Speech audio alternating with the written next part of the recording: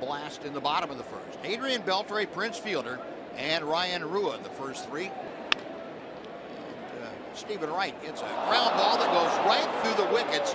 Uh, Pedroia at second. Beltre going for second. He's in with a belly flop on his side. well, you could you could watch a lot of baseball and never see that again.